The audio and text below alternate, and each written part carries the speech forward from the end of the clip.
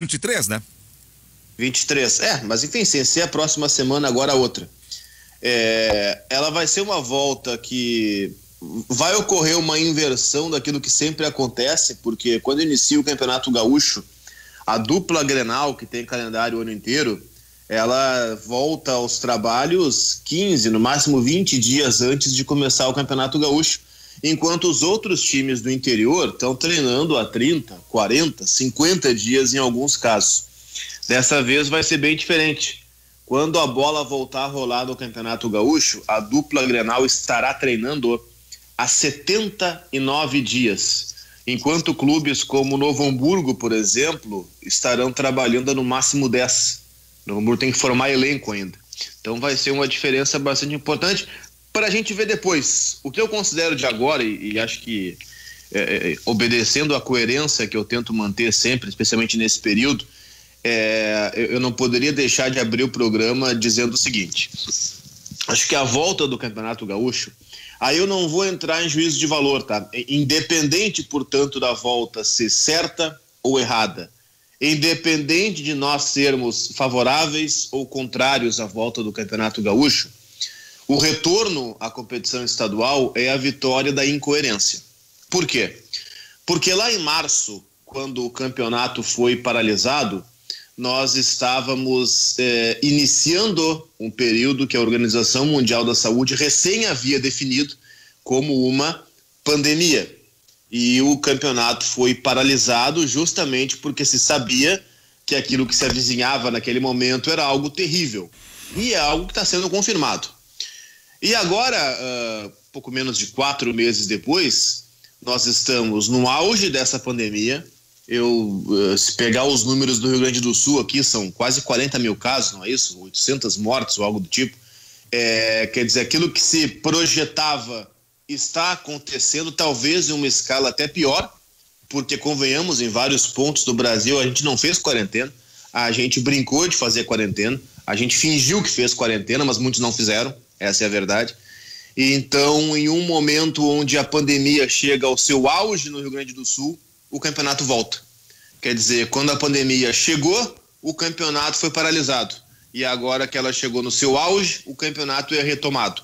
Independente da retomada ser certa ou errada, da paralisação lá atrás ter sido certa ou errada, para mim a volta do Campeonato Gaúcho é a vitória da incoerência.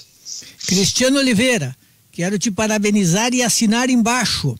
Se publicares esse manifesto, quero ser o primeiro a assinar. Boa. Obrigado, Eu concordo absolutamente com tudo isso que foi dito pelo Oliveira, só que eu vou entrar em juízo de valor, sim. É absolutamente errado retornar o campeonato nessa semana próxima. Bom dia, senhores. Bom dia, Carlão. Bom dia. Bom dia, cara. Oi, Juremir, bom dia. Bom dia, Guimarães. Sempre um prazer te ouvir. O prazer é todo meu, meu querido. Muito obrigado pela, por é, estar comigo nessa manhã. Falando sério agora. Sério, sério. Eu, eu quando digo que gosto Não. de participar contigo, é verdade. Eu queria falar um negócio só. Também assino embaixo o que o Cristiano Oliveira falou.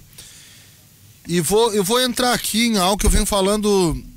Olha, eu, eu sou incoerente em muita coisa na minha vida. Muita coisa sou incoerente. Inconsistente, inconstante, inquieto, inconfiável às vezes. Mas nisso, mas nisso, Luiz Magno, Nisso eu vou eu vou exaltar a minha coerência, tá? Para dar a minha opinião, que é repetitiva, chata, mas é a mesma. É a mesma por acreditar que existe toda uma simbologia nas coisas públicas que acontecem que dão ou não, que atribuem ou não uma sensação de normalidade. O Rio de Janeiro vive um estado tão esquizofrênico há muito tempo, tão uh, fora da realidade, tão no mundo paralelo, que as coisas que estão acontecendo no Rio de Janeiro são as coisas da mais profunda ausência de realidade, sentido, explicação ou uh, pensamento lógico. Isso vai desde o Calu e o Honda juntos no Botafogo até o jogo que transmite, não transmite, transmite, não transmite, volta a eliminar e é decidido nos pênaltis com a vitória do Fluminense. Passando por todo o quadro carioca atual que deixou de ser cidade maravilhosa há muito tempo. É, esse movimento é um movimento no Brasil, sabe? É um movimento brasileiro. cada estadual pensando por si. A minha opinião continua a mesma. Enquanto a curva não baixar, não tem que ter nada que represente normalidade. É simples. Eu concordo com tudo que o Cristiano Oliveira falou, já falei sobre isso. Para mim, a melhor coisa que poderia acontecer é, é cancelar o Campeonato Gaúcho e começar o Campeonato Brasileiro. O Campeonato Brasileiro, esse vai começar no início de agosto, tá divulgada a tabela, e aí envolve televisão, tá? E aí envolve televisão com o contrato ainda em vigência, né? Que é o contrato com a TV Globo, com a Turner, etc. É, não tem como desfazer no Campeonato Brasileiro, né, Zé? Os contratos que ainda estão em vigência, correto? Sim. Né? Os contratos estão valendo. Estão valendo, então não tem como desfazer essa, essa rodada. E eu, eu, é, é, essa, essa competição e eu sou, eu vou repetir tudo aquilo que eu estou falando. A gente está batendo recorde. Ontem foi uma triste coincidência. Foi recorde no Rio Grande do Sul e o anúncio da volta do Campeonato Gaúcho. Mas eu vou dizer uma coisa para vocês. Eu entendo que é pressão, tá? Eu entendo que é pressão. O governador deve ter sofrido uma pressão gigantesca. O Luciano Oxman sofreu uma pressão gigantesca. Os clubes exercem uma pressão gigantesca, exercem sim, porque afinal é a vida deles que está em jogo. Eu não vou condenar quando está é, vendo a, a, conta no vermelho e ter que fazer alguma coisa. Eu não tenho como condenar isso, tá, Zé? Eu não tenho como condenar os profissionais do interior que querem voltar porque a conta está no vermelho. Eu não tenho como. É, eu não tenho como exigir alguma coisa quando a conta da pessoa está no vermelho, porque aí entra uma situação que é a situação pré-desespero para não chegar na situação do desespero que é a pior de todas, tá? Mas eu vou entrar nessa coerência sim, que eu venho dizendo desde o início. Eu acho que a gente tinha que ter adotado uma política pública lá no início para que a curva agora fosse mais baixa e a gente pudesse entrar nas competições. Essa é a minha opinião, se Mas, manteve. E a parecida, Luiz, qual a opinião que vocês têm? Falando em interior, eu estava observando algumas situações ontem eh, da divisão de acesso. Divisão de acesso tem 16 clubes participantes. Somente dois querem a realização da divisão de acesso esse ano. Somente o Glória e o Brasil de Farroupilha. Os outros 14 clubes não querem a realização da divisão de acesso. Evidente, pode mudar daqui a pouco essa, essa situação, algum acerto, alguma situação diferenciada. Mas hoje, 14 não querem a realização. E aí, a realidade do interior é a mesma desses clubes com os demais que estão na Série A do Gauchão, exceto a verba de televisão. É que talvez. Ou eles já é estão é porque a divisão, mas, é, mas, essa, mas, mas, essa diferença é fundamental, né, Magno? É, eles não tendo dinheiro da televisão, eles. Eu entendo esses quatores não quererem disputar, viu? Porque não tendo dinheiro da televisão, eles vão pagar os seus times, seus jogadores como?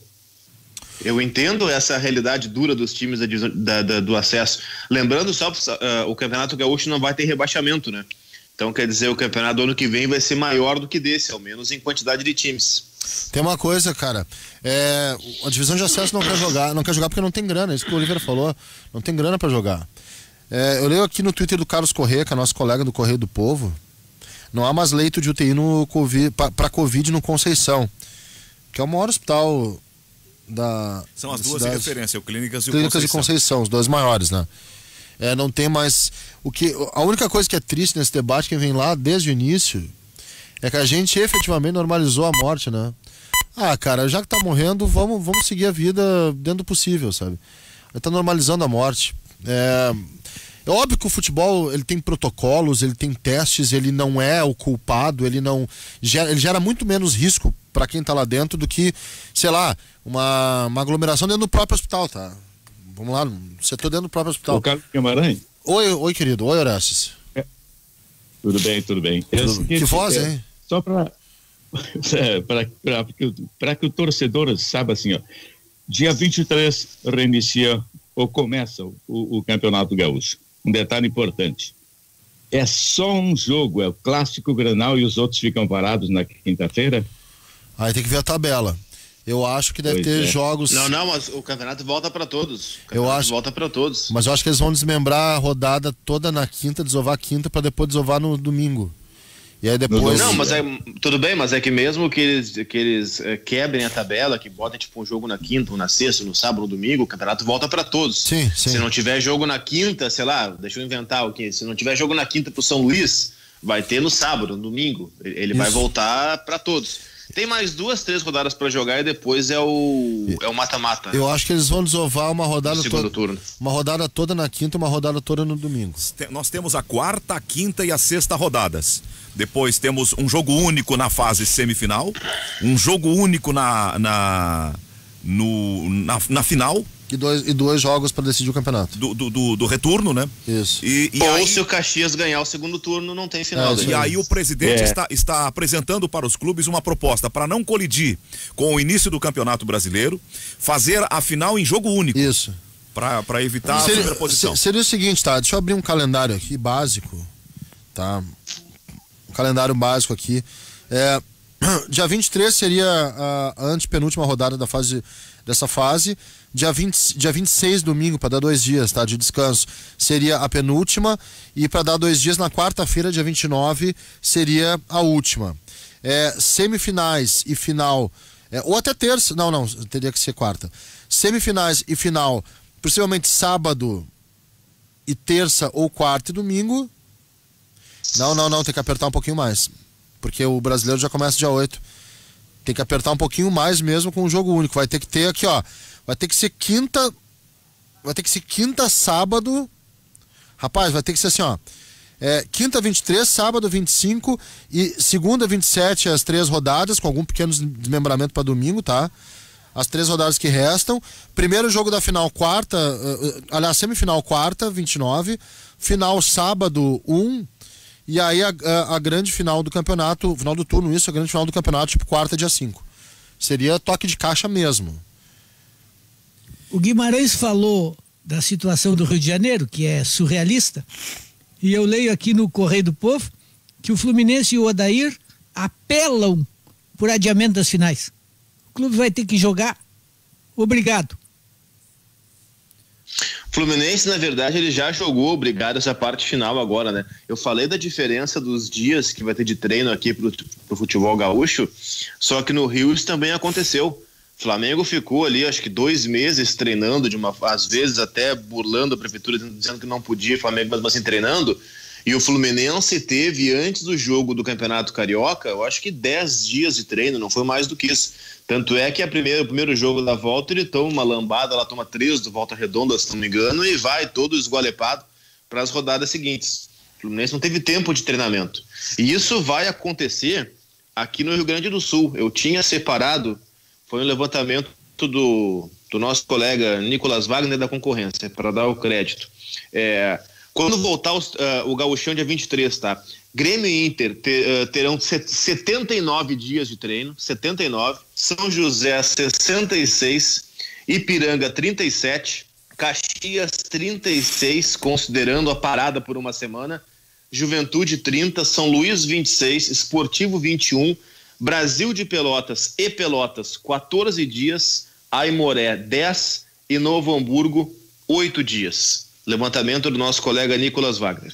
É, eu li hoje que dá dias quatro para 79 é uma bela diferença. Eu li hoje, Cristiano, que dá quatro meses e uma semana José. depois da volta do campeonato. A Imoré que teve seu preparador físico indo treinar ontem lá no Cristo Rei de caiaque. Não, qua- como assim quatro meses e uma semana, Zé? Dá quatro meses e uma semana depois da paralisação para a volta do futebol. Tá, mas eu não tô falando disso. Eu tô dizendo o tempo que cada time vai ter de Sim, treinamento eu entendi, eu até entendi. voltar ao Tu campeonato. Tá falando do- dos caras treinando aquele treino meia boca, né? Isso, mas mesmo sendo meia boca, 79 dias é muito mais do que oito, né? Imagina uma diferença, agora- são quase são quase não, são 10 vezes mais, né? Eles Dez terão vezes 10 mais. dias de pré-temporada a fuzel, como a gente diz naquela expressão bem das antigas. Para valer as ganhas, pegado, entre choque, eh, contato, do dia 13 até o dia 23, quando teremos o Grenal Exato. 425. Só que, só que eles quem? Eles, eles no caso, o Grêmio Inter, certo? Porque o Novo Hamburgo, que está na outra ponta desse período de treinamento, o Novo Hamburgo não tem nem time para treinar ainda. Não tem elenco no Novo Pois é. O Novo Hamburgo, em dois, três quarentena- dias, vai ter que formar o elenco, contratar os jogadores e começar o treino. E nessa quarentena, o cara que fica em casa, o cara queira ou não queira, o cara dá uma engordadinha. Não vai dizer que o cara tá, tá pre- se Não, preparando. não é em nem, casa, não é nem, não tá. é nem só por isso, Horácio. Não, não é, além, além dessa questão eh, evidente, tem a questão de que imagina, tu vai ter que co- tu, tu vai ser contratado na terça para chegar no Novo Hamburgo na quarta, começar o treino na quarta mesmo, sem saber quem é o teu colega. Tu vai estar É, isso é disputando verdade. ali um rachão com um cara que não sabe nem, nem o nome dele. E esse Grenal vai ter o triste nome de Grenal da pandemia? O do Beira Rio, do dia Ah, 23? eu, eu, eu acho inevitável. Eu acho inevitável. É, eu, eu, eu tava vendo que o Inter vai preparar a torcida de streaming nos telões do Beira Rio, vai, ah, vai trabalhar com as, ah, o jogo de luzes das luminárias ah, modernas do Beira Rio para tentar criar um clima e com, com, com som ambiente e tudo. Eu, talvez É. ele receba uma outra denominação, um outro rótulo. É isso difícil, tem né? sido feito pelo, isso, isso tem sido feito pelos, pelos nos campeonatos da Europa, de, de colocar no campeonato espanhol, por exemplo, do alemão também se coloca até áudio fake das torcidas. O campeonato espanhol, parceria com a EA Sports do, do jogo FIFA, eles colocam lá o áudio padrão de cada torcida, porque tem parceria com o campeonato espanhol.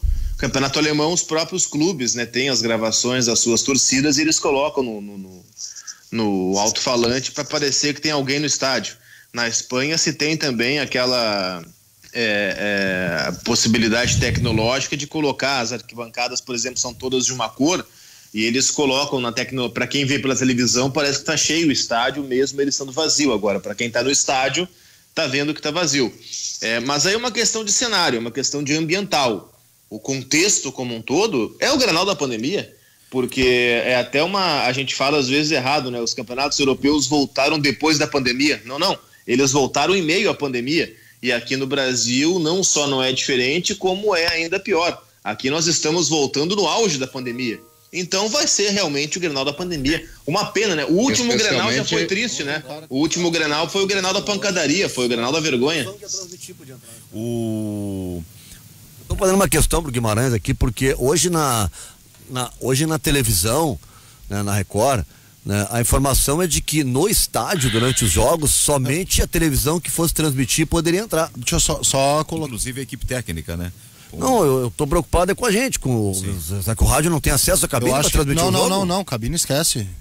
Esquece, nós vamos. Não, é, vai ser Não, um- cabine não. No Rio É, não, por exemplo. proto- é, não, no nenhum Rio, lugar. No Rio, não, no Rio não tem nem sequer Só entrevista, repórter. nem por, nem por Repórter. WhatsApp. Tá, então o rádio Só não- repórter da TV do time. O o rádio rádio vai ter um repórter lá. o ra- sim, mas narrador não vai poder narrar o jogo. Não, não vai poder narrar o jogo. A cabine Vai tá fazer vetada. tudo. Vai fazer tudo. Vai narrar do estúdio. Sim. Vai A cabine casa. tá vetada. Não, o protocolo da SEG, tu, tu não tá no grupo da SEG. Tomara que caia o sinal, então. Da televisão. Não, porque eu acho assim, ó, o futebol há anos É está tem- tentando tá, tirar do contexto o rádio. O futebol brasileiro é uma paixão do jeito que é, graças e muito ao rádio. É, uma, é, um- é um absurdo que esses novos dirigentes que estão comandando o futebol, sejam em clubes ou em federações, desconhecem tá? Que durante, eh, desde os anos 30 se transmite futebol pelo rádio, a Copa de 38 foi transmitida pelo rádio, e se começa a transmitir em televisão recentemente, quando o campeonato, nós tínhamos um jogo que em TV aberta, a televisão entra efetivamente com essa história de pay-per-view e TV a cabo e todos os jogos, já na- na- agora no- nos anos 2000, a partir dos campeonatos de pontos corridos. Essa é a novidade. E aí começaram a jogar pro lado do rádio. O produto que fez o futebol ser popular. O produto que é característico, tu vê aquelas imagens do cara na, na arquibancada com o radinho no, no ouvido, né? De repente agora o rádio ficou vetado. O rádio transmitiu eventos ao vivo. Quem inventou esse negócio de transmitir evento ao vivo foi o Deixa rádio. o Antigamente. Não, daí, daí acaba o meu discurso. No meio do discurso, ler um protocolo, Ah, acabou vai, o discurso. vai, vai, tá, fala, o protocolo. fala, fala. Se eu Não, faço que isso contigo, tu fica três dias sem falar basear, comigo. vai basear melhor teu, teu, teu discurso, porque isso aí é do dia 18 de Não, junho. eu dispenso o, teu, teu, tua ajuda pra basear meu discurso. Mas é- eu venho preparando ele há seis Mas é no dias. dia 18 de junho Ah, tá. que, que saiu esse protocolo, que não pode cabine. O que alega? Não, não é aqui- cabine, cara. Bom, Eu posso transmitir sentado numa cadeira, não importo. É. Eu quero que o rádio possa transmitir. Um repórter vai poder, Tá, o narrador da TV, ele vai narrar da onde? da cabine, vai ser... Não sei, não sei se o narrador... Porque o, a, a cabine. Covid, Não, não, não, não, a Covid não, não ela, é ela cabine. pergunta se o cara é Não. narrador de TV, ela não pega. A se é de cabine- rádio, pega, é isso? Não, não, não, não, desculpa, não é da cabine. Ah, incoerência Peraí, peraí, peraí, deixa, deixa eu só dar informação, só dar Qual informação. incoerência? correta. Abrimos o programa dando um pau que o Peraí. campeonato vai voltar Cara, em deixa eu só explicar. adversas. Agora estão brigando para ir para lá. Só explicar. Não, Não, tá, tá, tá, deixa eu tá, tá explicar. Só explicar. Não, peraí, mas o cara me chamou de incoerente. Não, Só eu tô dizendo que o explicar. programa é uma tá em- informação, uma informação, querido, é uma informação, não Não é... é de opinião, não é de informação, Tá, mas chatice mas- essas informações Tá, do então deixa eu dar Guimarães. uma informação, tá? Pra não parecer. Eu não quero nada, não falei nada. A gente não. É, tu falou a gente quer, não, não quer nada. eu falei, eu falei. É, tu O falou. coerente sou eu. Tu falou, tu falou, não, não te chamei, eu não te chamei de Não, coerente. não, Zé, mas eu eu quero dar uma mesmo, informação. não tô falando do o programa. narrador que. O programa não fala, quem fala são as vozes dentro do programa. O programa não tem Mas- voz. Qual é a informação, então, Carlos? Não. Protocolo Só dizer? pode ter acesso lá às cabines ah, profissionais de técnica para poder captar som e imagem. Tá. É, ponto. Cabine é considerado local de circulação e não pode entrar gente no local de circulação, segundo o protocolo que eu li da SEG do dia 18 de junho. O programa não Ponto. fala é uma frase de efeito. Isso aqui é um programa da Rádio Guaíba que tem pessoas que formam no conjunto uma opinião média. O, o programa abriu dizendo que é uma incoerência voltar ao futebol agora em que está crescendo o número de casos de coronavírus, o que é uma informação verdadeira. Aí vem o Nando, que é parte do programa, e diz assim: o rádio tem que estar lá presente porque estão excluindo o rádio. Então nós estamos que não Nando. pode ter e ao mesmo tempo estamos querendo ir para lá. Mas nós não, é o Nando. Nando, eu não, eu não quero, eu discordo do Nando. Eu acho que a cabine é um local de circulação e de aglomeração. Ainda mais com os. Bom, eu vou repetir então, mais uma vez. Eu tô me lixando isso. pra cabine, tá? Até porque eu transmiti jogo pendurado em, em muro várias vezes. Negócio de de cabine, caminhão. é, é, é, eu não vejo nada de incoerente, tá? Jornalismo é chamado Não, de de serviço, incoerente. é, é chamado de serviço essencial. Tá? O, o jornalista é aquele que onde todo mundo quer sair, tem um rolo, tem uma guerra, tem uma confusão, todo mundo quer fugir. O jornalista tá todo mundo correndo num sentido, nós estamos indo no sentido contrário. Nós queremos ir até a confusão para ver o que está acontecendo, que é o nosso trabalho, tá? Eu sou contra a volta do futebol, mas eu não decido. O futebol vai voltar. Eu não entendo por que vão fazer a volta do futebol, aí tem um protocolo para determinar a volta do futebol. E no protocolo da volta do futebol, que envolve imprensa, é só pensado na imagem da televisão. Mas não dá, Nando, pra botar todo mundo que faz Eu não quero lá. botar todo mundo, Carlos. Nando, quantas rádios web, não sei das quantas tem, cara? A gente vai lotar o estádio se todo mundo puder Eu não entrar. conheço nenhuma rádio web que nenhum. tenha cabine lá na- no Beira Rio ou na. Mas na- eles estão ali embaixo o tempo todo, claro que tem. No na, na- na arena de vida em cabine, Do lado inclusive. oposto é- Exato. Cheio. Vai aglomerar. Porque é o seguinte, a não ser que abra exceção para algumas, e aí vai ter mais um outro problema depois. Qual é? Não é mais só Guaíba, Gaúcha, Grenal e Band que transmite, cara. Tem rádio de tudo que é lugar do mundo, de tudo que é jeito. Ah, mas no, no, pref- no, em AM FM são só essas quatro. Não dá, mas a lei não é mais só Tem- pra MFM. A SEG não pode dizer, olha só, só as quatro grandes vão transmitir, o resto tá barrado. Não, não pode fazer isso. Mas não trata de estar pequenas. barrado, se- Mas eu não, eu não entendo isso. Tu- faz o critério que tu quiser. Se eu, por exemplo, quiser fazer um acho que o critério. critério tem que ser se, eu, único. se eu faço um critério que só vamos ter rádio assim, assim, assado, esse critério está estabelecido. Não é lei. Isso é regulamento. É, mas- Quem transmite meu verdade, não é campeonato lei, é lei. regulamento. Eu, mas- eu decido como vai ser. Mas isso aí tem que estabelecer um bom senso, não pode apartar os outros só porque os outros são pequenos. Tem muita gente, cara, no estádio. É isso que eu quero chegar, entendeu? Mas eu acho que está sendo feito isso. Está se Agora- priorizando quem pagou e vai transmitir por televisão. É não, só o isso. repórter, a gente vai poder entrar, entrar com o repórter. Não, com narra- não nas cabines. Meio-dia a vai questão, sinal. a questão é que as cabines, a do Beira Rio, Ó, na é boa, aglomeração. num jogo como esse, é muito mais importante o narrador do que o repórter. Com todo respeito. O repórter não pode perguntar pra ninguém, Carlos. Não pode fazer pergunta. Se na cabine do Beira Rio, se naquele corredor do Beira Rio um pega, todo mundo pega. Um tem, todo mundo pega. A gente vai ser testado? Quem? Nós, da imprensa? Eu já eu fiz por minha conta. A Tu acha que alguém vai pagar pra nós testar? Se a gente não for testado, é o maior perigo entrar naquele, naquele corredor do Rio. na zona mista corredor do também? Rio. Eu preciso Zona fazer um mista intervalo. também, é aglomeração. Na zona mesa também. Preciso fazer o intervalo, a Fernanda já está aqui, vai apresentar notícias e em seguida a gente retoma.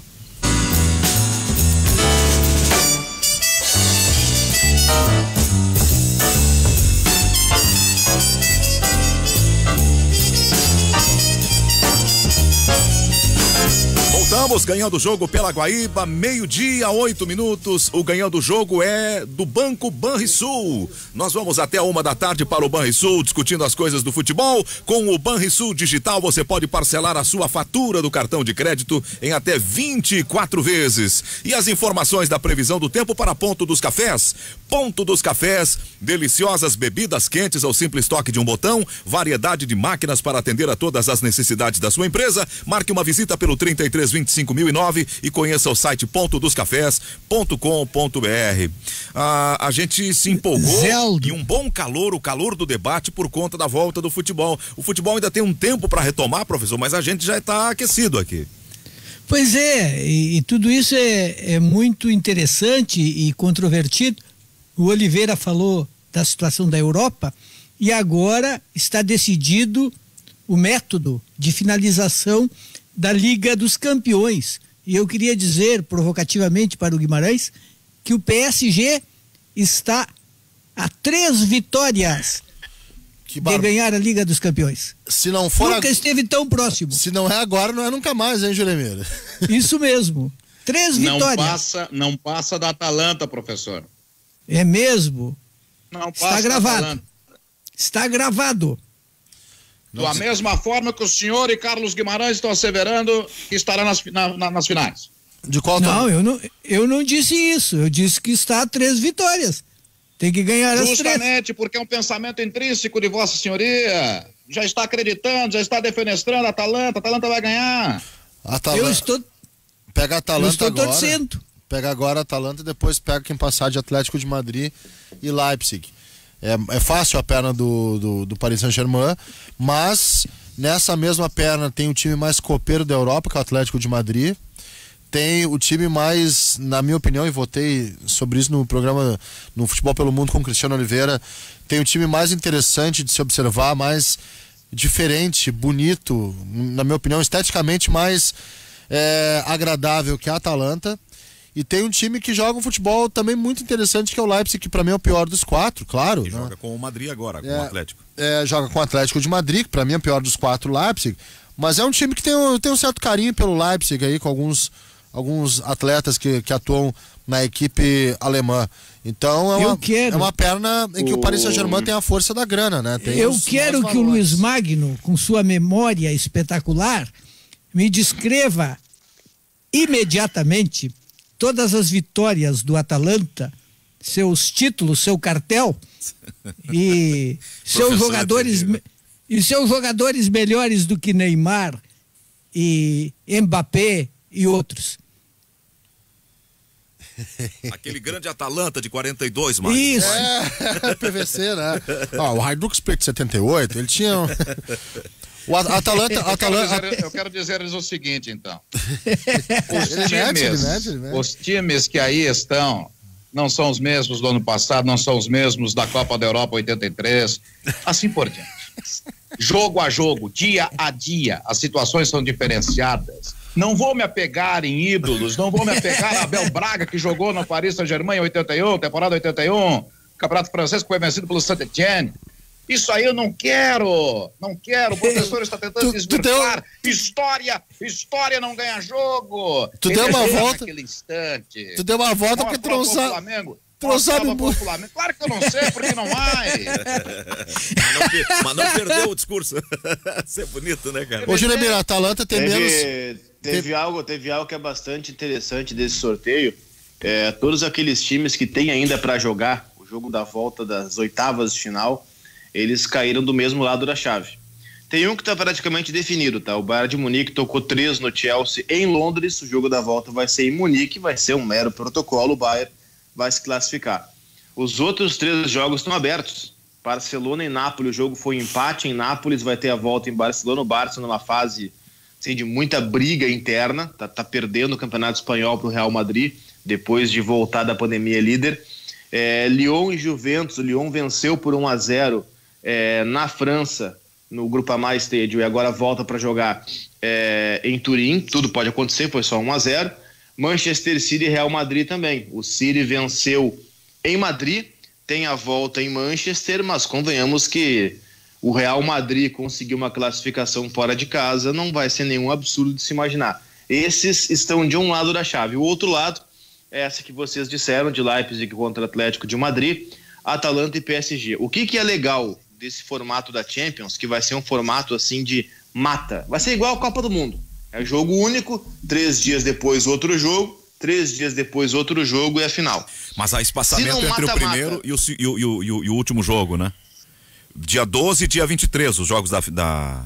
Tá, porque, porque esse do dia 12 vão ser esses da volta das quartas de final. Esses jogos de volta vão ser é, nos países ainda dos clubes mandantes, para não haver um desequilíbrio, mesmo que vá haver o desequilíbrio por causa da falta de torcida. Quando eles todos se reunirem em Lisboa, em Portugal, para jogarem a toque de caixa, quartas, semi e final, aí é a Copa do Mundo. Aí é um jogo de quartas, três dias depois a semi e três dias depois a final. O que, que é legal desse formato assim? É, um o que, que se fala de mata-mata e pontos corridos? Pontos corridos dificilmente vai haver uma surpresa. Até de vez em quando acontece um Leicester, por exemplo, mas em geral o mais forte ganha. E o mata-mata é o formato que permite as surpresas, porque são apenas 180 minutos. Se em 180 minutos é possível haver surpresas, imagina em 90 minutos. O A Simeone fala sobre isso, Cristiano. a possibilidade, Zé Aldo, de haver uma surpresa, ela é muito grande. Primeiro assim, ó, brincadeiras à parte, o Atalanta eliminar o PSG hoje não seria propriamente uma surpresa. O Atalanta é o melhor ataque da Europa, é, é o, é o famoso time que joga e deixa jogar. Os números da defesa do Atalanta são muito ruins, só que os do ataque são assim, fantásticos. Ele tem mais de 100 gols na temporada. Contra um PSG que também não tem na defesa o seu ponto mais forte, só que tem no ataque, o Jeremy listou alguns. No ataque, o Cavani não vai jogar, esse vai ter contrato, já acabou e não vai jogar. Mas tem um Neymar, tem um Mbappé, tem um Icardi, por exemplo, tem um ataque fantástico. O, o Atlético de Madrid, que, que chega às quartas de final e pega agora o Leipzig, nada impede que ele consiga, naquele seu modelo sul-americano, é por isso que eu gosto de ver o Atlético jogar. O Atlético parece que ele joga Libertadores dentro da Champions. Nada impede que o Atlético passe pelo Leipzig e passe pelo PSG da vida, o Atalanta, e chegue à final. Então, a, a possibilidade de haver surpresas nesse modelo a toque de caixa é muito grande. E isso vai fazer dessa Champions E- mais legal do que de costume. Eu queria só abrir Oliveira, aspas né? pro que Ô, ô, disse Zé, o Simeone. Zé, o professor, ô Zé, o professor perguntou antes ali de, de história e tudo mais sobre a Atalanta. Atalanta 88, seu centroavante era Evair. Evair muito maior que Neymar e Mbappé. Só digo isso. A Atalanta, Atalanta tem um time tão legal, assim, ó, é o time mais legal de se ver, que é justamente isso, é um time super ofensivo, né? E tem algumas surpresas, algumas coisas interessantes. É óbvio que os seus jogadores não estão à altura de nome, de investimento, de visibilidade, de qualidade, possivelmente, que Neymar e Mbappé, que são os dois grandes badalados do Paris Saint-Germain. Na verdade, tem mais jogadores, né? Eu acho o Icardi um excelente jogador, é, o Verratti é um excelente jogador, o Marquinhos é um excelente defensor, e tem outros jogadores interessantes também, o time do Paris Saint-Germain.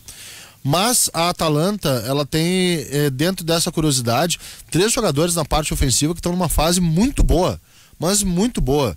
Um deles é um colombiano chamado Duvan Zapata, muito bom jogador, forte. É, o outro é o Papu Gomes, que é uma espécie de armador, né? Eles não chamam a, a Atalanta de 3-4-3, chamam de 3-4-1-2. E esse um é o Papu Gomes, que é um, um argentino. E não sei por que, que não tá na seleção argentina, porque ele é melhor do que um monte de cara convocado para a seleção argentina, só que ele não tá na seleção argentina, inexplicavelmente. Ele Mas é- ele foi convocado já, ele jogou Foi- na seleção argentina. Jogou, jogou, mas pelo Scaloni ele não é convocado.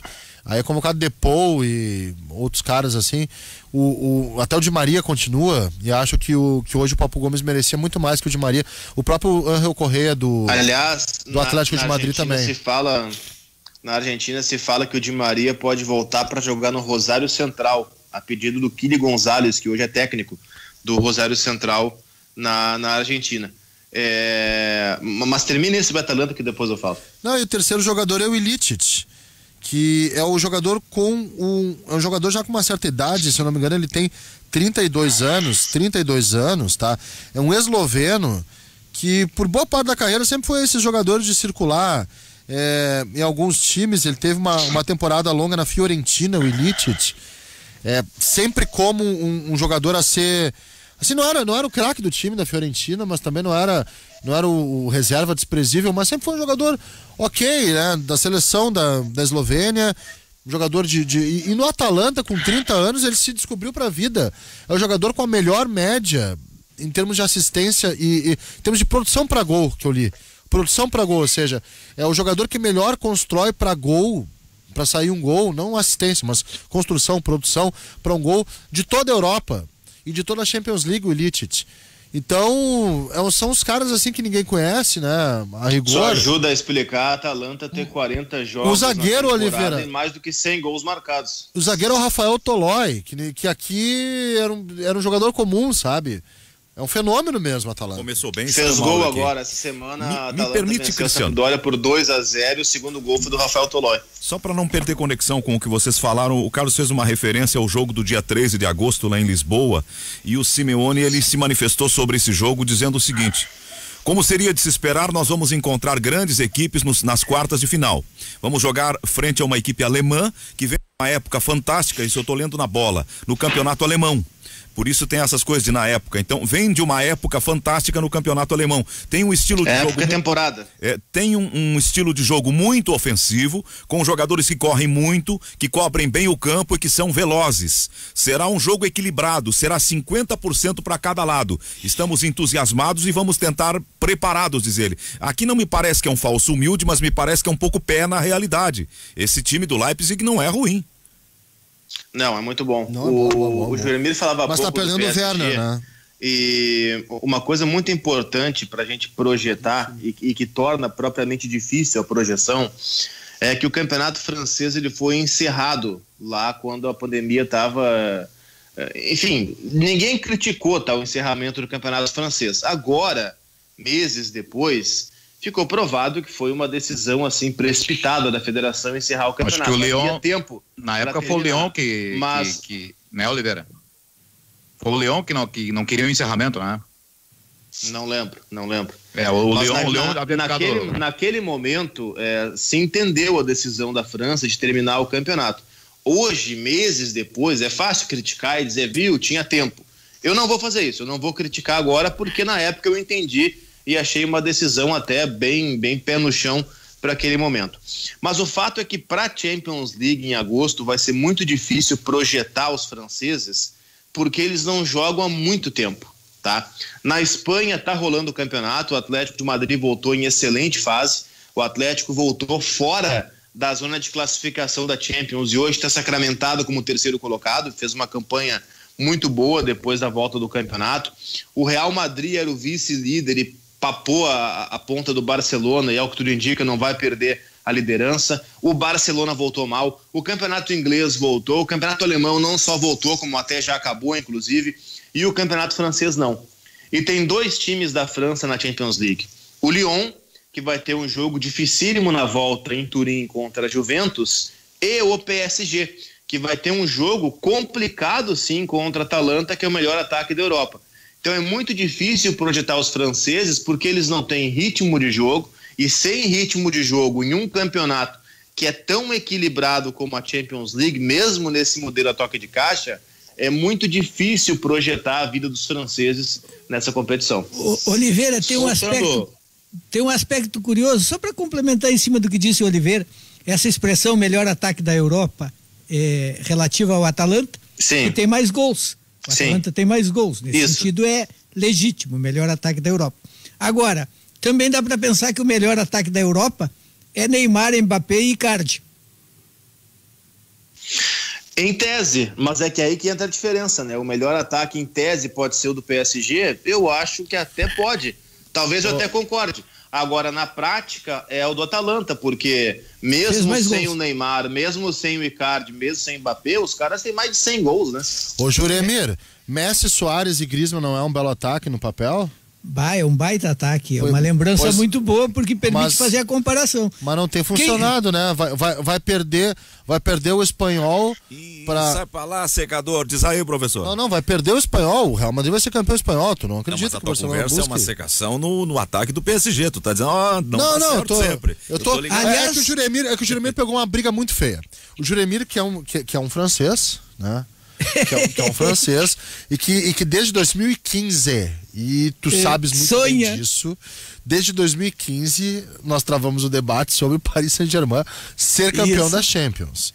Não Isso. deu até agora, mas agora talvez dê. E acho, acredito, agora falando sério, tem grandes chances de chegar à final, porque o Paris Saint-Germain estava jogando muito bem, tá? Tava jogando melhor do que as outras temporadas.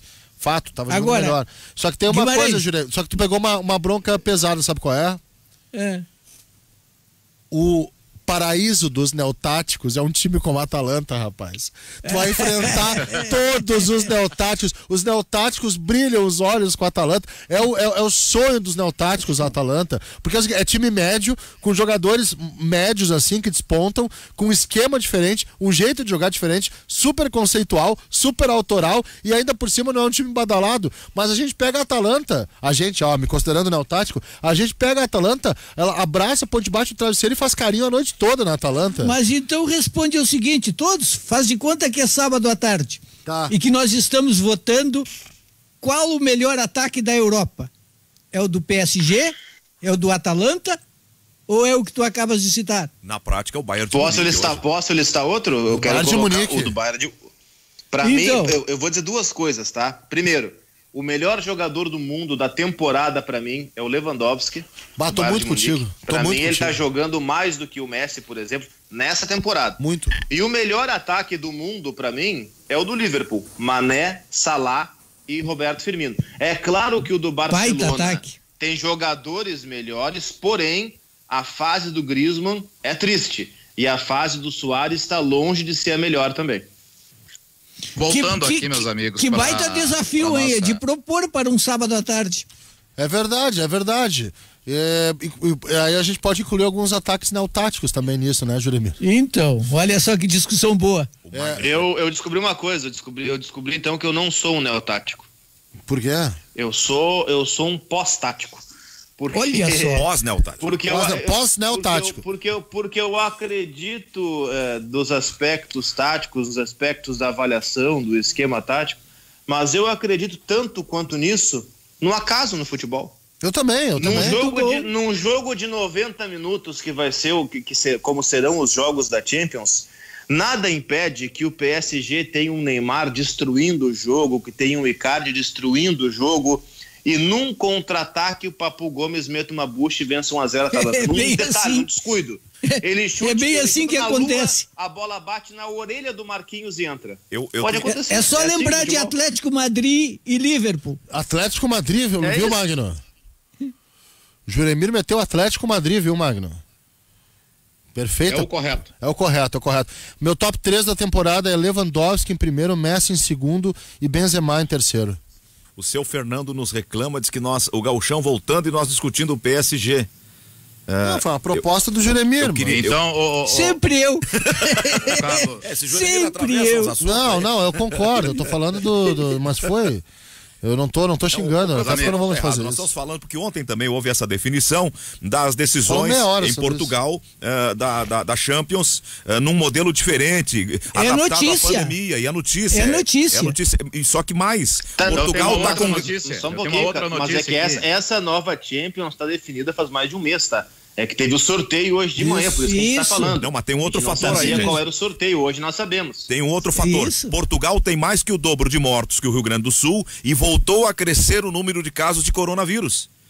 Também, tem, tem isso também. Verdade. E eles estão organizando lá e vão jogar. Verdade. A gente debateu o gauchão, Zé. meu querido ouvinte, viu, Magno, na, na primeira meia hora.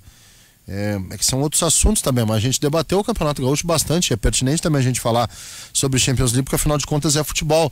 Mas o que o, o- que o Zé coloca aqui, Magno, é uma realidade, sabe por quê? Porque é- tem, tem algo mais assustador ainda. É, no Japão, voltaram a crescer de forma bem considerável os casos de infectados pelo Covid-19. Em Portugal, voltou a crescer. A gente está diante de cenários, e aí o futebol, ah, vamos esperar a curva baixar, de cenários onde a curva estabelece uma lógica de montanha-russa, gente. Viu, Magno? Ela vai descer para depois subir de novo. E aí, então a gente tem que também pensar o seguinte, ó, que quadro é esse de uma coisa que ninguém nos disse que ia ser assim. Porque baixou para depois subir. Portugal baixou muito por conta de um regime muito bom de, de, de, de confinamento. 1.3 Voltou a subir. eles estavam o índice de letalidade. E agora- Isso é chamado é, pandemia controlada. E agora. O Rio Grande do Sul está acima de 2, 2.3 Não, mas, me o, parece. mas Portugal voltou a crescer. Sim, nos últimos dias É. ah, começou a aparecer mais casos. Eu não sei qual é o percentual de, de letalidade. Mas é, que, agora. mas, é, mas é que isso Zé. entra, Zé. Mas é que isso entra naquele estado quase que de, de, de looping que eu dizia quando se estabeleceu aqui no sul as bandeiras, que ia entrar a bandeira vermelha, as pessoas iam se controlar. Aí depois de um período de controle, ia voltar para a bandeira laranja. As pessoas iam afrouxar, iam abrir shopping, aquela coisa toda, iam se descontrolar de novo. Volta a bandeira vermelha. Guardadas as proporções, é o que é o que está acontecendo nesse exemplo de Portugal teve uma espécie de afrouxamento, entre aspas, o comércio abriu, os bares abriram, tentou se estabelecer de novo o que era antes normal, voltou a aumentar o número de casos. Meio-dia e 30, Magno. Ah, ô Zé. A Associação Chapecoense de Futebol, por meio da sua diretoria e seu departamento médico, informa que após a realização, melhor, a divulgação do resultado dos testes RT-PCR realizados na última terça-feira, a fim de cumprir uma exigência da Prefeitura de Florianópolis. Alguns integrantes da comissão técnica e do elenco Alviverde testaram positivo para o Covid-19. Diante dos diagnósticos, todos os profissionais foram prontamente afastados para cumprir o período de quarentena. Tendo em vista o confronto contra o Havaí no próximo domingo, o clube reitera que todos os atletas e profissionais da comissão técnica que integrarão a delegação na viagem para a capital catarinense tiveram seus resultados negativados e estão aptos para o duelo. Só que a Chape jogou na quarta-feira, os testes foram na terça. Os positivos da terça-feira que foram divulgados hoje jogaram na quarta. E aí? Tem uma informação surgindo agora aqui, viu, senhores? Por favor. Tá, deixa eu dar o crédito aqui. O Igor Siqueira, portal O Globo. Comebol aprova a volta da Libertadores em setembro e final em janeiro. Eliminatórias vão para outubro. A entidade prevê calendário até 2021. E aí tem o texto das informações apuradas aqui por ele de que a Copa Libertadores vai voltar em setembro. E isso coincide, ou isso colide, melhor dizendo, com aquilo que eu trazia semana passada de informação, depois de conversar com repórteres argentinos de futebol pelo mundo, e eles diziam que os clubes argentinos estavam sensivelmente preocupados com a pressão que a Comebol sofria, especialmente de clubes brasileiros, para voltar à Libertadores. E por que eles estavam preocupados? Porque na Argentina os clubes não podem nem sequer treinar ainda. Eles não podem, eles não têm o ok nem para voltar aos treinamentos. A Argentina é um exemplo continental de como está tratando essa pandemia. Então tem um regime lá que é bastante forte os clubes não podem treinar. Nós estamos quase uh, meados de julho, ou estamos em meados de julho, e a Libertadores vai voltar em setembro. E não há uma definição de quando eles podem treinar. Os argentinos estão preocupados com isso, ainda mais agora, com essa informação trazida de que a Comebol deu ok para voltar em setembro a Libertadores com final em janeiro. Meio-dia, 31 minutos, ganhando o jogo pela Guaíba para o Banco Banrisul. Você está ouvindo na Guaíba, ganhando o jogo. Meio-dia, 34 minutos, voltamos ganhando o jogo pela Guaíba em nome do Banco Banrisul. No Banrisul Digital, você pode parcelar a fatura do cartão de crédito em até 24 vezes. 25 minutos para entrada em férias. A palavra está com Carlos Guimarães. Não, uh, depende. Uh, e depende, vou dizer por quê e vou ser bem honesto aqui, tá? Eu tava até falando com o Cristiano Oliveira que manja dessa parada mais que eu. Fecha a porta aqui, Pedrinho, por favor. Muito obrigado, meu garoto. Pedro Alt, senhoras e senhores. Ah, uma das nossas grandes vozes. Nossa, isso é um perigo. Você é discípulo de Luiz Magno. Junta os dois e não sobra. César Pereio, aqueles tipos. Exatamente, ele, ele é Paulo César Pereio. Luiz Magno é Cláudio Maros e a gente se segura malandro. Agora falando sério, tá? É, amanhã, às duas e meia, tá marcado o jogo. Vai acontecer o jogo entre Valladolid e Barcelona pela, pelo Campeonato Espanhol 19 e 20. Bom jogo, porque se o Barcelona perder, o título pode, se eu não me engano, por critério de desempate, já acontecer na segunda-feira, quando o Real Madrid enfrenta o Granada. Pois bem, é, esse jogo, como todos os jogos do sábado, duas e meia da tarde, ele tem transmissão do Fox Premium. Ou não. Por que, que eu digo ou não? Porque eu não sei. E aí eu tava vendo, para consultar sobre esse jogo, não, não informam nada, não informam nada. Até agora não informaram nada, que de certa forma vai mudar algumas coisas. Pois bem, Cristiano Oliveira. Aí eu acessei aqueles sites lá, um deles tu me mandou, inclusive, futebol na TV, né? Que é o. O perfil do Twitter, Fute na TV, que é um perfil muito bom, por sinal. É, pois é. Aí eu fui ver aqui, ó, jogos de hoje. Não, jogos de amanhã, tá? Aí até aqui, ó, vem jogo pelo MFTV. O de amanhã eles passaram já? Geralmente eles botam no fim da tarde? Não, de amanhã eles passaram sem esse jogo. é, temos que ver isso aí. Não, como assim os, os de amanhã? Tu tá com fute na TV? Não, eu tô aqui, ó, fute na TV eu tô aberto. O, a última atualização são os jogos dessa sexta. Não, eu tô com dois. Primeiro o futebol na TV, o segundo é o Goal, tá? É são dois outros ah, sites. Então, mas, nenhum, mas, mas nenhum desses foi o que eu passei. O que eu passei tá aqui, ó. Jogos de hoje. Que são um, dois, três, quatro, cinco, seis. Tem um, um, jogo do Huddersfield pela ESPN Watch, Real Sociedade pela serve. Fox Premium Sport em Santa Clara, Fox Sports, Fulham e Cardiff na Watch ESPN e dois jogos na ESPN, Real Madrid e Alavés e à noite, opa, Seattle Sounders e São José. Bom, bom. Aliás, tem um zagueiro espanhol no São José chamado Pablo Álvares, viu? Se- 37 anos, 1.1, viu? Fala esses guri, professor. Viu? Que loucura. Agora falando sério, é, é- é uma pesquisa para outro trabalho. O professor tá no talher agora. Gente, dos seis jogos que o Cristiano Oliveira relatou hoje, seis vêm pela TV fechada, três vêm pela TV fechada, três por streaming. Ainda vejo jogos aqui na MFTV, que eu não sei o que que é, pelo ESPN Watch, esse aí falou o jogo do Huddersfield, assim como Fulham e, e Cardiff, Deve ser TV Massey Ferguson, MFTV, Massey Ferguson. da, da Zone, tá? Da Zone. E ah, outros canais de YouTube, onde que eu quero chegar? O streaming já tem preponderância sobre a TV fechada nos módulos de transmissão do futebol europeu. E o streaming pode ter é, essa, essa vantagem sobre a TV, a TV fechada no Campeonato Brasileiro. A gente está entrando numa era de forma muito séria na era do streaming. E eu não sei se isso é bom para os outros meios. O Nando, na primeira parte, falou do rádio e da necessidade do rádio estar em loco. Eu acho que o rádio se vale muito por estar em loco, estar no palco do acontecimento, tá? E acho que o rádio ele é um- uma força que incentiva o futebol no Brasil, assim como o futebol também sempre foi uh, um produto essencial do rádio.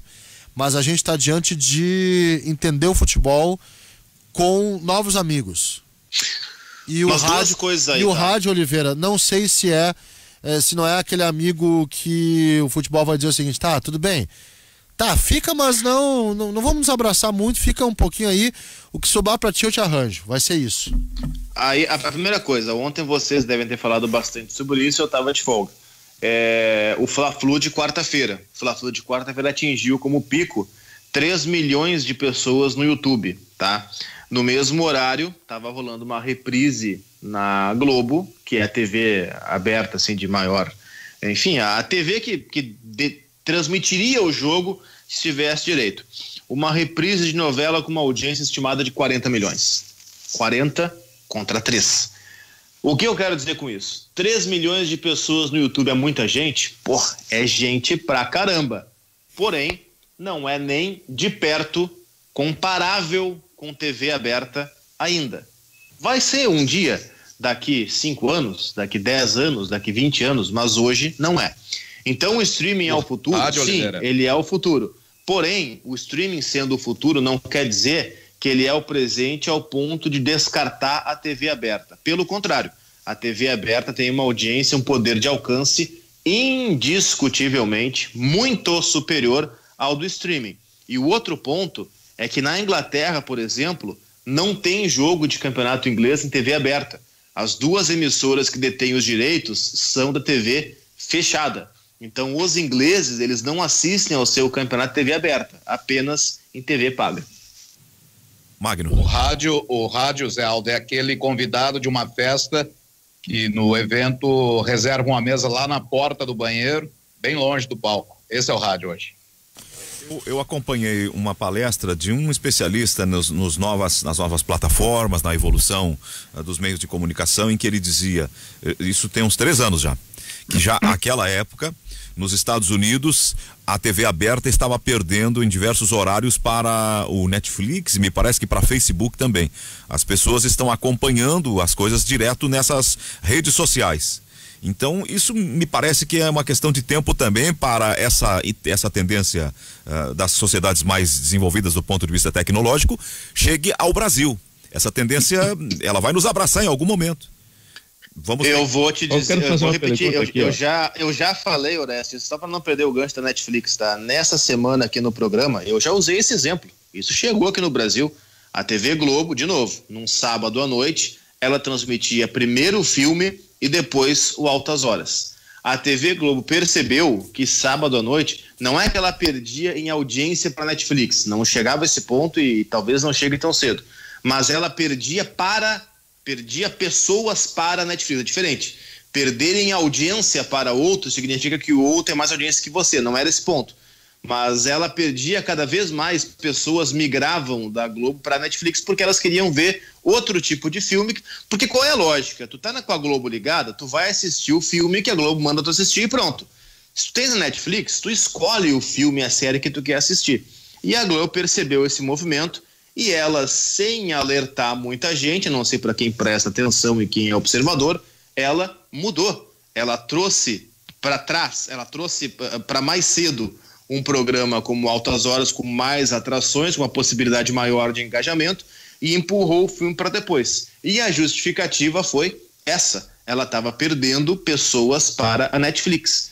então isso não vai chegar, isso chegou no Brasil. Do Agreste Sergipano, Alain manda a seguinte mensagem: Boa tarde, Zé Aldo e demais. Talvez a solução para competir com o streaming seja ter melhor conteúdo. O que me faz continuar ouvindo rádio, mesmo com transmissão, é a opinião, a narração e a reportagem. Então ele. Esse é o ponto. Muito bem. Como é que é o nome? Ele é Alain, ele está nos ouvindo, ele é colorado, está exilado no Agreste Sergipano. Grande figura, Alain. Valeu aquele abraço, meu querido. É, isso é uma coisa muito interessante mesmo, porque tem uma coisa, Zé, que que o rádio tem que outros veículos não têm, né? O, o, o rádio transmite sempre com muita qualidade. Se tu for pegar procedimentos técnicos, basicamente técnica, de como a gente transmite, é, é, há uma vantagem com relação ao, ao, ao streaming. Há uma vantagem com relação a esses veículos. Não, a questão técnica ainda é importante. A pessoa quer é, acompanhar o jogo ainda ouvindo um bom narrador ainda ouvindo um bom comentarista, né, Orestes? Ainda ouvindo um bom repórter. Isso é fundamental. Ainda quer ouvir gente boa falando, né? Pensei Não, que... essa dúvida. Essa detalhe. Tu sabe que eu estava lembrando aqui, ó. Eu estava lembrando há, há, alguns anos, se nós tivéssemos, por exemplo, 40 mil pessoas no estádio, no Beira Rio ou no Olímpico, 15 mil tinham radinhos sempre todo mundo com radinho. Por quê? Porque a emoção é diferente. Você pode saber Até o que mais tá que isso, se, Exato, se foi pênalti, não foi pênalti, quem é que vai ser substituído, por que está sendo substituído. Tudo isso aí faz falta pro cara, velho. O radinho dá tudo isso em primeira mão. E não é. Vai, Magno, vai que depois eu falo. Não, não, justamente complementando isso que o Horácio falou, até mais que essas 15, 20 mil pessoas aí. É, eu, me, eu me recordo de, de ouvir jogo, melhor, de ouvir de assistir jogo em estádio ouvindo o, o eco do giro do placar, tanto da Guaíba quanto da Gaúcha. Isso não é. É, é verdade. É, é, isso é o que acontecia. Hoje não tem Eu mais. lembro. Tá com fone de ouvido, tá com celular e, e, um número bem menor de, de, desses 20 mil aí. Eu lembro de ver jogo no estádio e do meu lado tinha um senhorzinho já de idade. Ele ficava e não era radinho, ele tinha aquele rádiozão mesmo de botar no, no ombro, sabe? É uma, uma figura atípica daquele momento. E ele ficava naquela Isso. emoção do rádio, ele no estádio, com a emoção do rádio, olhando para baixo, ao longe, sabe? sem olhar para o campo, mas só ouvindo o rádio, uma coisa assim fantástica. E, e, sobre questão de transmissão ou não, não é só o jogo em si, tá? Vamos pegar, uh, eu vi pessoas criticando, por exemplo, a transmissão parcial da TV Flu. Gente, é uma TV para torcedores, é óbvio que vai ser parcial, eu não me incomodo com isso. Ah, daqui a pouco o narrador não falava o nome dos jogadores do Flamengo. Isso é patético, mas é uma crítica ao narrador, não é uma transmissão é, é como um todo. A grande questão é, quando é, um governador, o Luiz Magno, e nesse final de semana o Arquivo Guaíba vai ser especial, né? Dos 60 anos dos governadores gaúchos, é isso, né? 60, quando 60 um... anos, 60 anos de governadores, de 30 a 90. Boa. Boa.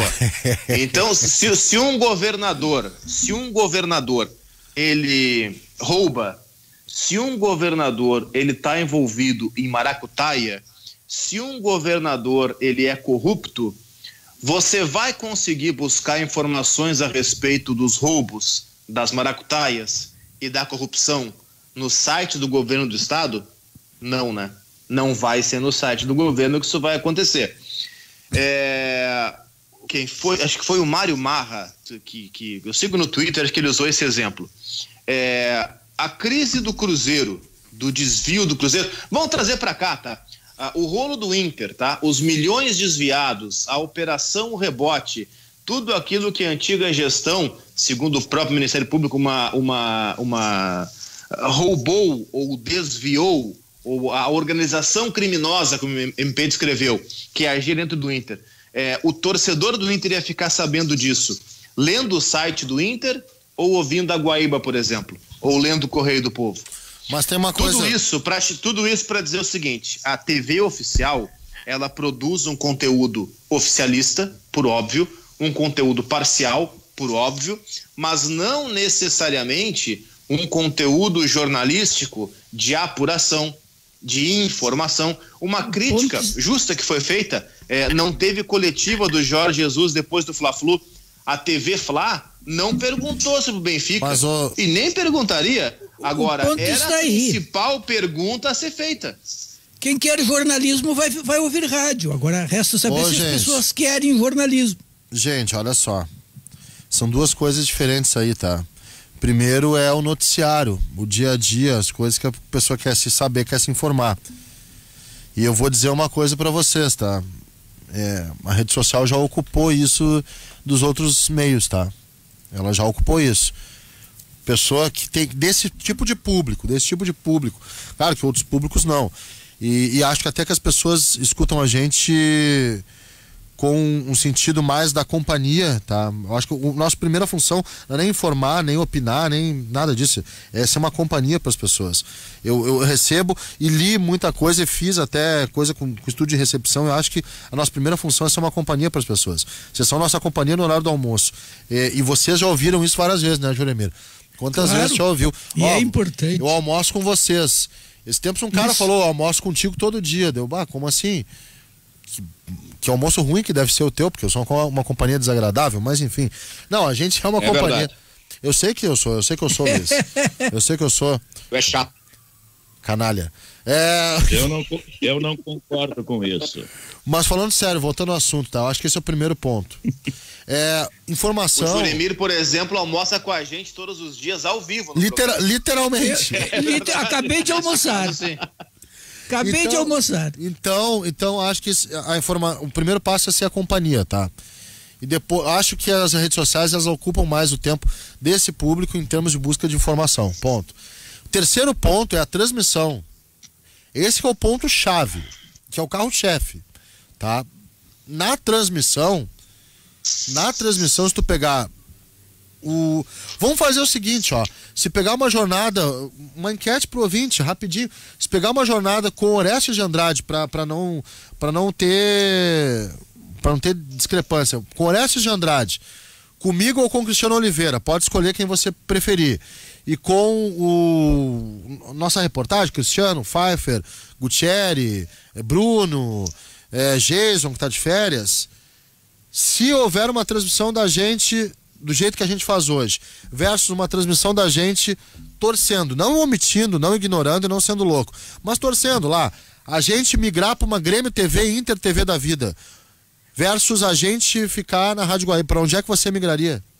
O O Alexandre, Guimarães. o Alexandre Prestes fez uma observação interessante ontem, professor, a- acerca da questão da- das emissoras de TV eh, dos clubes. Ele, ele considera que tem que ter eh, eh, respeito com o adversário, que é parte da regra do jogo. Mesmo que uma televisão vai, vai lá, a Flá TV, transmita, ela não pode desrespeitar o, o, o- o torcedor do Fluminense, o jogador do Concordo. Fluminense.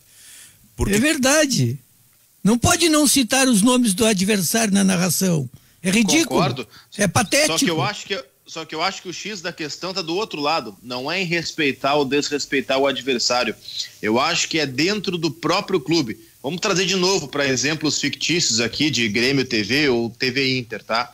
É, eu duvido que numa transmissão da Grêmio TV é, se faça uma crítica tão veemente ao André do que se faça em veículos de rádio, das rádios não identificadas. Não tem Porque tu tá crítica. numa TV oficial, como é que tu vai? Não, até acho que pode acontecer, tipo assim, "Ih, o André não é o cara ideal e tal. E dentro da Grêmio TV tem profissionais, cara, que eu gosto Muito, demais, e que eu considero muito. alguns meus amigos, inclusive. Mas por uma questão assim de trabalhar para a TV oficial do clube, eles não vão fazer uma crítica tão forte ao André quanto alguém da Guaíba, da Grenal, da Gaúcha, da Bandeirantes, da Rádio Galera vai fazer. Alguém, É não- alguém da TV Inter vai dizer aí, cara, mas vem cá, vai entrar o Natanael.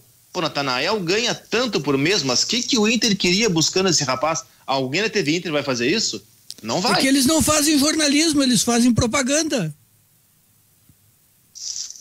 É a promoção de um lado só, né, professor? Exatamente. Eu eu É- estava ouvindo é outro promoção. dia. Outro dia eu estava ouvindo, estava plugado para entrar no ar, ia terminar a entrevista dele e ia começar uma entrevista comigo na na rádio Venâncio, na rádio Terra de Venâncio Aires, com o querido Carlão.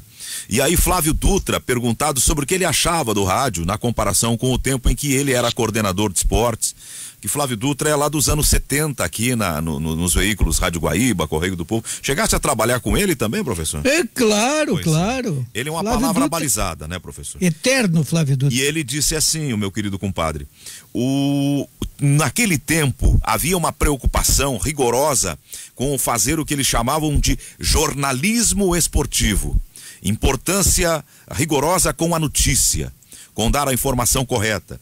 E ele disse que o rádio mudou, ele hoje é mais ouvinte, que o rádio mudou para um, um- uma- um perfil mais de entretenimento e que ele considera que o rádio hoje tem até excesso de opinião. É, todo mundo dá opinião antigamente era uma coisa assim meio tabu. A opinião era dos eh, que tinham cabelo grisalho, eh, quem estava começando não podia dar opinião. Então ele fez uma observação que seria uma constatação de como nós estamos hoje. Não era propriamente uma crítica num sentido pejorativo. E eu, Zé Aldo. aí eu ouvi-lo, eu fiz uma reflexão, mas acho que ele tem razão. Fala, professor. Eu, eu acho que até certo ponto é verdade, mas só até certo ponto, porque em todos os tempos que eu acompanho jornalismo esportivo, é uma mescla de jornalismo, informar, trazer à tona, revelar, e de entretenimento, de promoção do espetáculo. E sempre com torcida pelos locais.